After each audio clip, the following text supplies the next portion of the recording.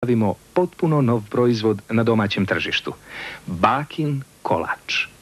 Mek, softan i sunčano žut napravljen je od dnevno svežih jaja. Za tri minuta napravit ćete doručak.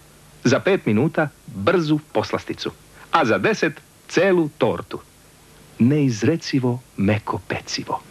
I diše i miriše. Liči. you go.